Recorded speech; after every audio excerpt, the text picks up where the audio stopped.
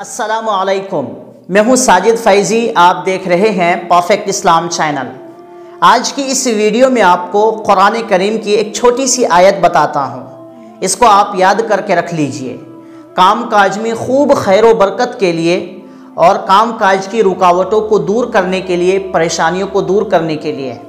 आप जो भी काम काज करते हैं, दुकानदारी करते हैं, तिजारत करते हैं बिज़नेस करते हैं, आप बिजनेसमैन हैं और आपको लग रहा है कि काम काज में रुकावटें आ रही है, परेशानी आ रही है, पैसों में बरकत नहीं हो रही है काम काज में बरकत नहीं हो रही है। तो आप इस छोटी सी आयत को पढ़ लीजिए।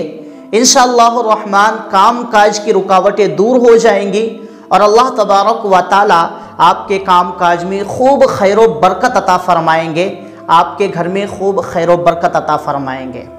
और आप कामयाब इंसान बनेंगे इन तो सुर तलाक़ की आयत नंबर सात सुर तलाक़ अट्ठाईस पारे में है। आयत नंबर सात सैज उसरी युसरा। इंग्लिश में भी है, देख लीजिए आप। आप मेरे साथ रिपीट कीजिए, बहुत फ़ायदा होगा इन सैज उसरी युसरा।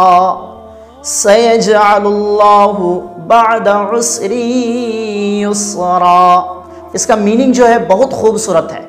अल्लाह तबारक वाली मुश्किलों के बाद, परेशानियों के बाद आसानियाँ पैदा कर देगा। फजर की नमाज़ के बाद आप एक सौ उनतीस मरतबा पढ़िए, अव्वल आखिर दुरू शरीफ भी पढ़ लीजिए। यानी जब भी किसी काम काज के लिए जाएँगे, उस दिन फजर की नमाज़ के बाद आप इस आयत को एक सौ उनतीस मरतबा पढ़ लीजिए।